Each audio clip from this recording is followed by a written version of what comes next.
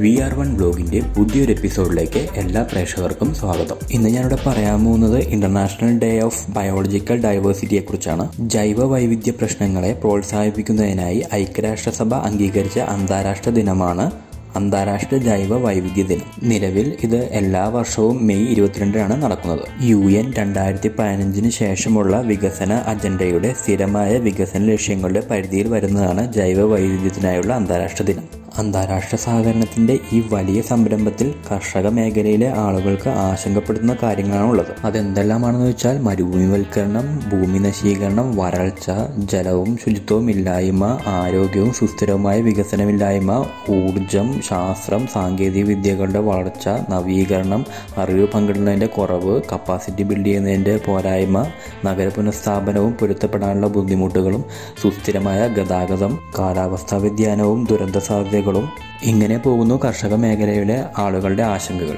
ഇങ്ങനെയുള്ള പ്രശ്നങ്ങളൊക്കെ പരിഹരിക്കുന്നതിനായി സുസ്ഥിര വികസനത്തിന് ജൈവ വൈവിധ്യത്തിനുള്ള പങ്ക് റിയോയിൽ നടന്ന യു എൻ കോൺഫറൻസിൽ അംഗീകരിച്ചു. ഇതിനെ റിയോ പ്ലസ് ട്വന്റി എന്നാണ് അറിയപ്പെടുന്നത്. ആയിരത്തി തൊള്ളായിരത്തി തൊണ്ണൂറ്റി മൂന്നിൽ യു എൻ പൊതുസഭയുടെ രണ്ടാം കമ്മിറ്റി രൂപീകരിച്ചതു മുതൽ രണ്ടായിരം വരെ ജൈവ വൈവിധ്യ കൺവെൻഷൻ പ്രാബല്യത്തിൽ വന്ന ദിവസം ആഘോഷിക്കുന്നതിനായി ഡിസംബർ ഇരുപത്തൊമ്പതാണ് തിരഞ്ഞെടുത്തിരുന്നത്. പിന്നീട് രണ്ടായിരം ഡിസംബർ ഇരുപത് മുതൽ ആ ഡേറ്റ് ചേഞ്ച് ചെയ്തു.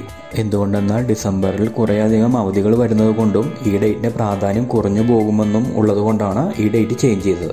റിയോ എർത്ത് ഉച്ചകോടിയിൽ ആയിരത്തി തൊള്ളായിരത്തി തൊണ്ണൂറ്റി രണ്ട് മെയ് ഇരുപത്തിരണ്ടിന് കൺവെൻഷൻ അംഗീകരിച്ചതിന്റെ സ്മരണയ്ക്കായി തീയതി മെയ് ഇരുപത്തിരണ്ടിലേക്ക് മാറ്റി. ആയിരത്തി തൊള്ളായിരത്തി തൊണ്ണൂറ്റി മൂന്നിൽ നടന്ന ബയോഡൈവേഴ്സിറ്റി കൺവെൻഷന്റെ മൂന്ന് പ്രധാന ലക്ഷ്യങ്ങൾ എന്തൊക്കെയാണെന്ന് നോക്കാം.